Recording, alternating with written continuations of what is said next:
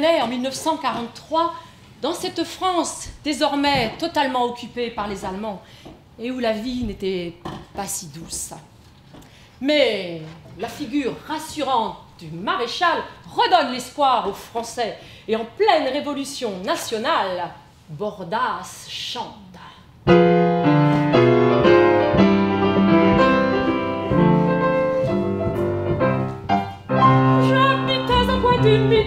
Midi au temps béni de mon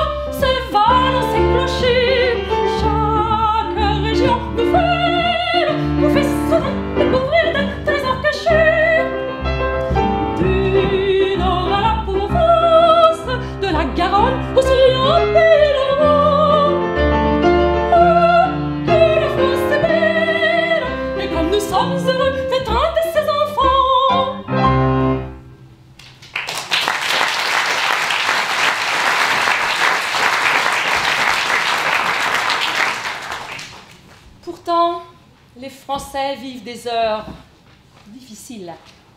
La débâcle de 1940, juin 40, a jeté des centaines de milliers de personnes sur les routes. C'est l'exode. Ô ma France, ô ma délaissée, écoutez l'intense et noble émotion où souffle l'âme de la patrie blessée dans ce poème de Louis Aragon qui rappelle la traversée de la Loire au pont de C, près d'Angers, sur une musique de Francis Poulenc. C.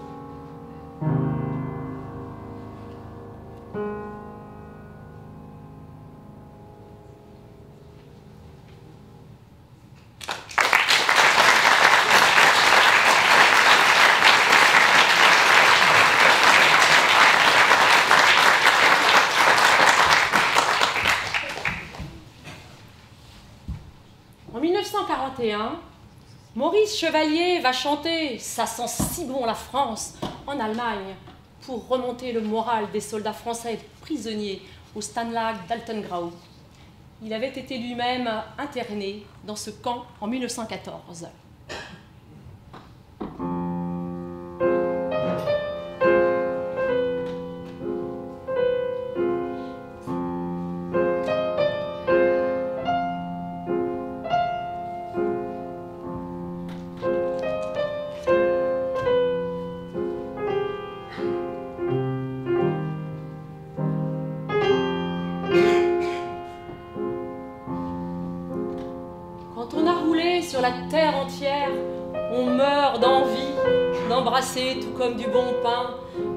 Dans le soleil couchant. Ça sent si bon la France. Ces grands blés mûrs remplis de fleurs des champs, ça sent si bon la France. Ce jardinet où l'on voit chien méchant, ça sent si bon la France. On arrive enfin, fini le voyage. Un vieux copain vient vous sauter au cou, il a l'air heureux, on l'est davantage cette brunette aux yeux de paradis. Ça sent si bon, France. Le pays mu qui ferme avant midi. Oh là là là là, ça sent si bon, la France.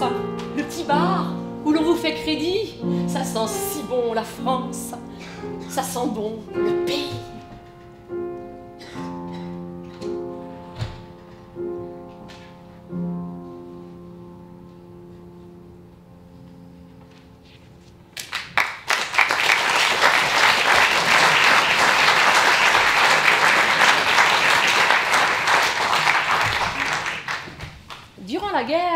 La môme Piaf devient Edith Piaf. Elle vit sa passion dans une certaine inconscience puisqu'elle habite au-dessus d'une maison close fréquentée par des officiers allemands. En 1940, elle crée l'un de ses plus grands succès, écrit par un soldat en partance pour le front.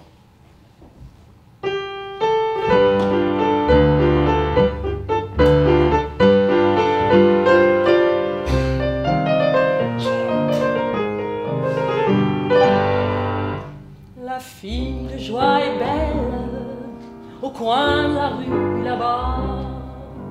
Elle a une clientèle qui lui remplit son bas.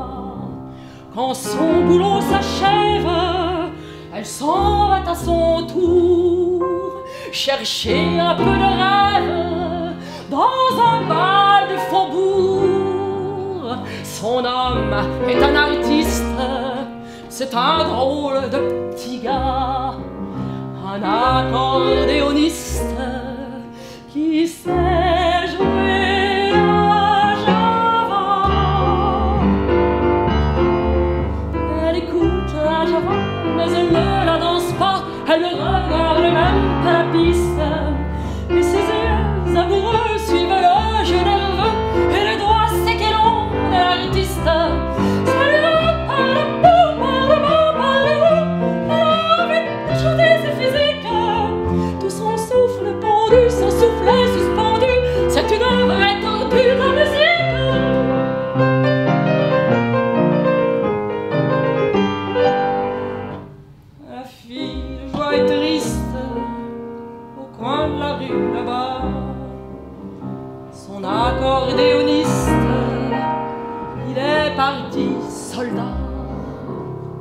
Quand il reviendra la guerre, ils auront une maison.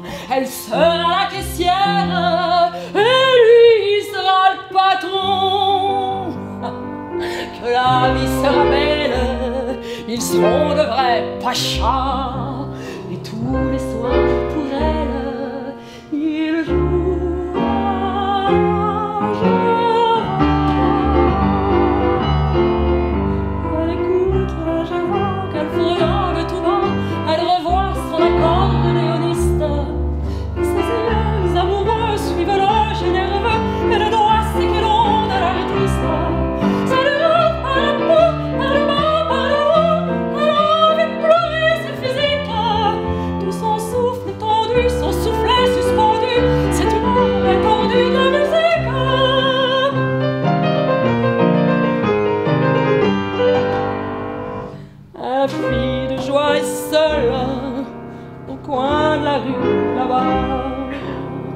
filles qui font la gueule, les hommes n'en veulent pas. Et tant pis si elle crève, son homme ne reviendra plus. Fini tout ça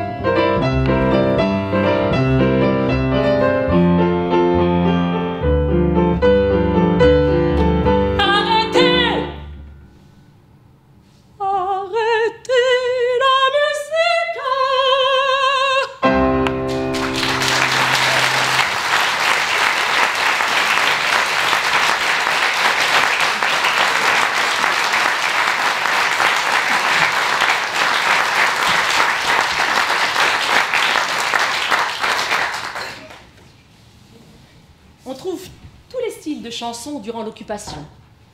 Des refrains populaires, des chansons nostalgiques, et d'autres aussi qui évoquent les difficultés des Français confrontés aux restrictions.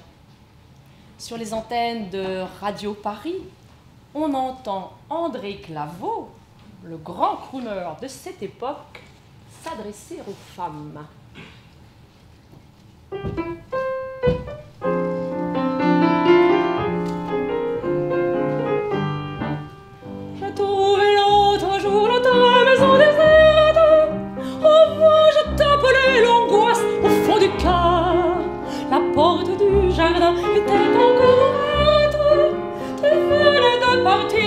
maison, notre bonheur.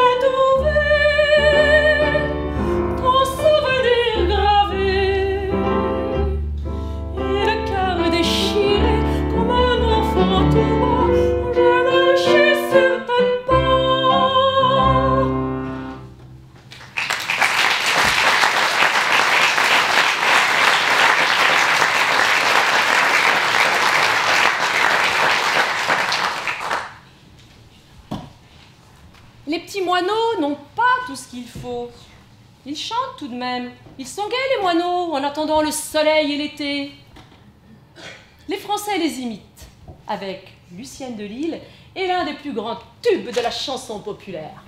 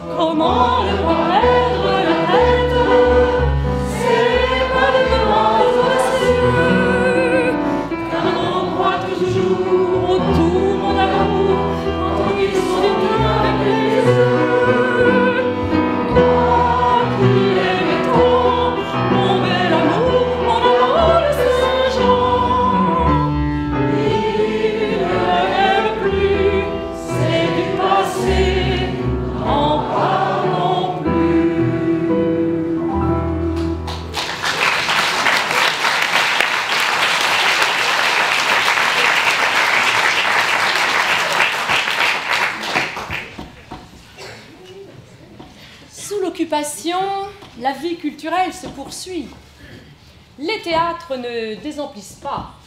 Les revues et les opérettes font courir le public. Il faut dire que les salles étaient chauffées, comme ce soir. Ainsi, au théâtre municipal du Mans, les mercredis soirs, on donne un opéra, et les samedis et les dimanches, une opérette.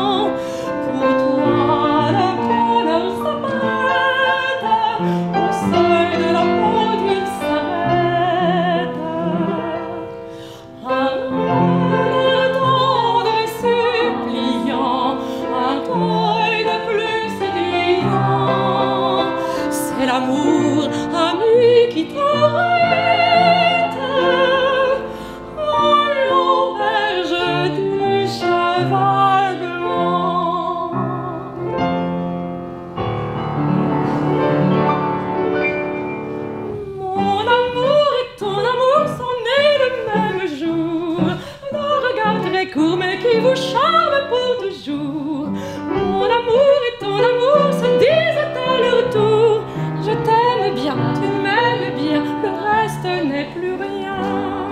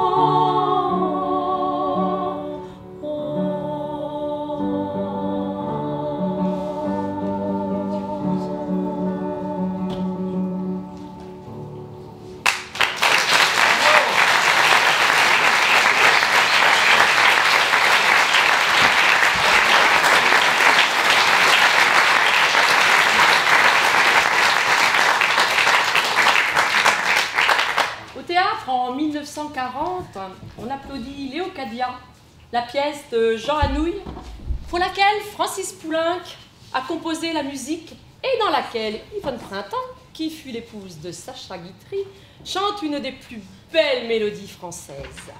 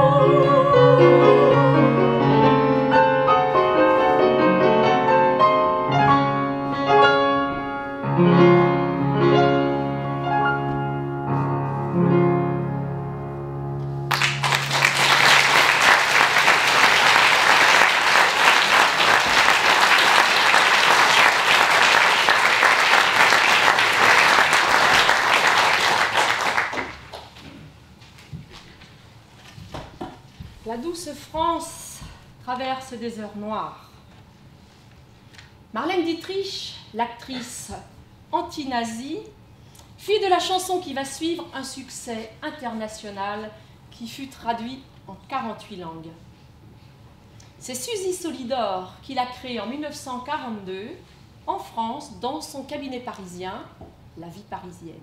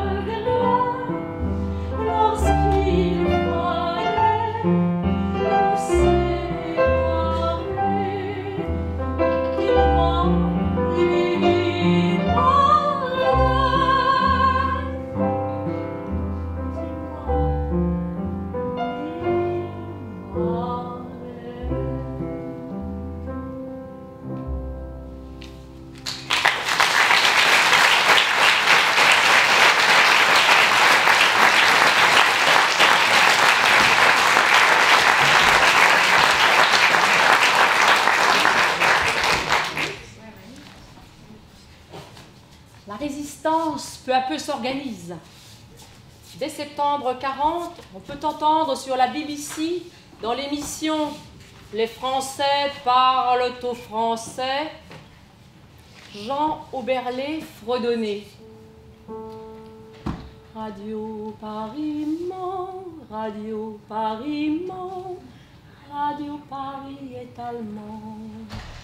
Radio Paris Radio Paris Radio Paris est. Les résistants se reconnaissent aussi dans le chant des partisans, écrit par Maurice Druon et Joseph Kessel sur une musique d'Anna Marly. Mais il est un autre chant, écrit par Emmanuel Dastier sur une musique également d'Anna Marly. Les Allemands étaient chez moi, ils m'ont dit résigne-toi, mais je n'ai pas pu. J'ai repris mon arme. Personne ne m'a demandé d'où je viens et où je vais, vous qui le savez. Effacez mon passage. J'ai changé cent fois de nom, j'ai perdu femme et enfant, mais j'ai tant d'amis, j'ai la France entière. Un vieil homme dans un grenier, pour la nuit nous a cachés, les Allemands l'ont pris, il est mort sans surprise. Hier encore nous étions trois, il ne reste plus que moi, et je tourne en rond dans la prison des frontières. Le vent souffle sur les tombes, la liberté reviendra, on nous oubliera. Nous resterons dans l'ombre.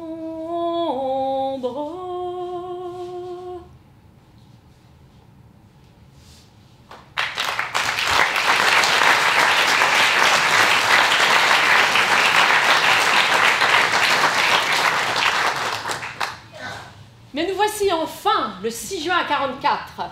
C'est le débarquement de Normandie. Le 8 août, les Alliés sont au Mans et remontant vers Alençon, libèrent Saint-Marceau le 9 août. Le 23 août, le capitaine Dronne, un Sartois de la 2e DB, est le premier à entrer dans Paris. Deux jours plus tard, Paris est libéré.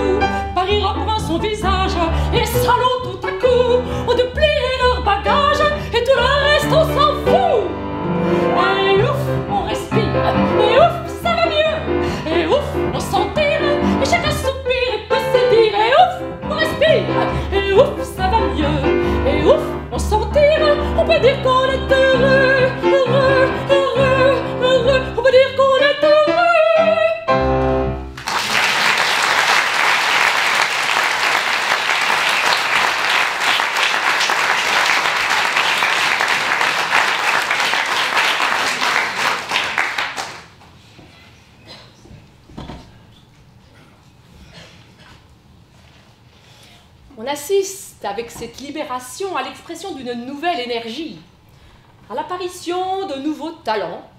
Yves Montand, Georges Oumer, Luis Mariano, Georges Guettari, euh, Tino, Tino comment? Tino, Tino Rossi, oui c'est ça, à de nouveaux rythmes, à de nouvelles danses. Euh.